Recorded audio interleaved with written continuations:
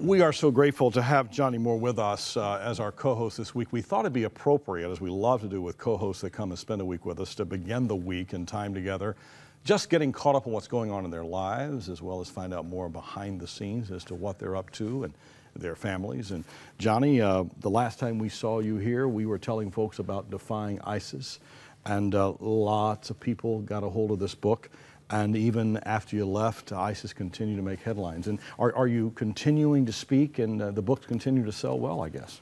Yeah, I mean, I, I wish the book was totally irrelevant now. I, I wish this threat was should over. go away. I, I, wish the Christian persecution had ended, but it hasn't. It's escalating every well, day. well, last month I was with John Hagee down in San Antonio, and it's been our offer all this month, and uh, he was talking about the three heavens, and he talked about the second heaven being the arena of the demonic and the dark and the devilish and the, the evil supernatural aspects of things. And in that, he came all the way from, you know, uh, Cain killing Abel and that evil of, of killing and murder all the way to present day in ISIS. And it is, there, it, there is such a darkness to this. I mean, this is the 21st century. Like, we, we have people beheading people for their faith alone. We have children being tortured. We have have little girls being put on slave markets. You know, we, we, talked last time I was here. I mean, I have the price list of the slave market where it says a, a one to nine year old Christian or Yazidi girl for a price about just under $200. I mean, this is an awful thing that's happening. It's happening in our time. And, and I, I you know, when, when I think about this crisis, I, I, think about the Holocaust. You know, and, and I think, had I been alive during the Holocaust,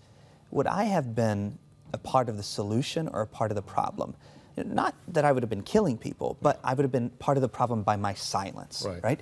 And I, I just don't want to be quiet. And so I'm still talking up, and I appreciate all Huntley Street has done to raise the oh, issue. Well. It's, it's first century persecution in the 21st century, and we've got to do more about it. Well, you're helping us by letting our audience know what's going on, and uh, our audiences both in Canada and the United States, and, and, we're grateful. By the way, we're on now on uh, TCT uh, out of Illinois in uh, some 25 million U.S. homes. This is our first month with them, and we want to say hello to, to, you folks. Thanks for getting to know us at 100 Huntley Street and tell your friends.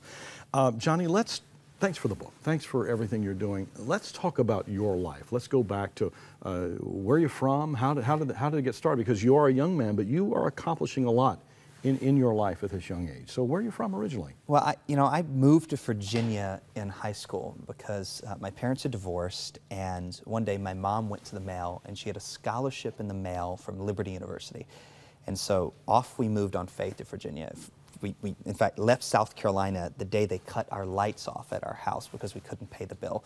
And we got to Virginia. We lived in a basement apartment with two bedrooms. Mom slept on the couch so my sister and I could have bedrooms. So, Johnnie, you had a tough, tough life before, before this notoriety and busy schedule. Yeah, I mean, God, God, had his hand on my life, though, from the very beginning. Yeah. Because it was there that I met the founder of Liberty University, who later made me a campus pastor. And so I was 18 years old. I was the campus pastor of Liberty University, the largest Christian university in the yeah. world. Yeah. And we kept my age a secret because I mean it's, it's kind of a crazy thing. Which, which would be which would be kind of the uh, style, the humorous style of the founder. Of yeah, no, no, for, for sure uh, it was. Mr. And, Jerry. Yeah, and, and and by the way, he wasn't taking a big risk. I mean, he no. gave me a church service to speak at that had failed. It had hundred people attending it in this gigantic university. But uh-huh. but you know, it, it was like a, an idea. Take a youth pastor who's like the age of the youth, you know, in college, a college pastor, the age of the college students, and in a year the church had well, like two thousand. And, and through his history, because I, I, go back to the uh, 1980 with him, uh, Jerry Falwell.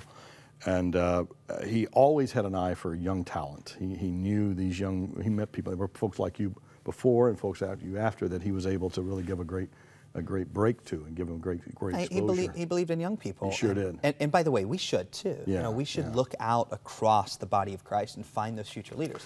So you start out as a campus chaplain or speaking, and uh, yeah. you're, you're 18, and then there is this surge of responsibility, you become a vice president? Yeah, and a senior vice president at, at a time where the university grew from maybe 25,000 students to 110,000 students. Amazing. I was running all the public and media relations and you know right hand of the of the president and teaching religion courses and campus pastor and running the largest weekly gathering of Christian students. And that was just on Monday. well, and it, it, was all because one guy believed in me. I mean, yeah. that, that's what it was. The power that. One yeah. guy saw a young person And, and, and by the way, he didn't just throw me in the deep end. He was with me every step of the way, and other mentors came in my life. And, and it's true today, John. I mean, I have more friends that are in their 60s and 70s than I do my age. You know, because this is the body of Christ. You know, we, we have the wisdom of the old and the zeal of the young, and that's how we change the world. And we exchange those as we grow in varying degrees.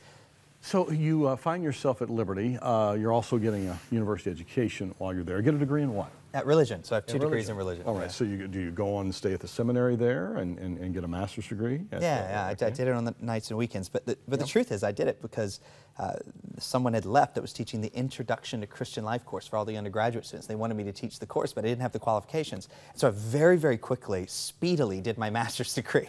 You know, maybe I'm not supposed to say that, but you know, I, I just believe that you know, if, if you're supposed to do something, you get prepared for it, you do it quickly. So you're not opposed to a fast track, that's for sure. No, no. you, I mean, the- you've made we that gotta happen. move. I mean, this world Yeah. is like changing. This is a it's a perilous time. It's also a time of great opportunity. You could have stayed at Liberty, and the future was bright there. And uh, by no means is Liberty University suffering or struggling. It's it's at its height of uh, popularity and respect, and uh, it's just amazing what's happening there. I watched uh, Jeb Bush speak there at the commencement, and some I said 35,000 I think there to hear him speak for that graduation.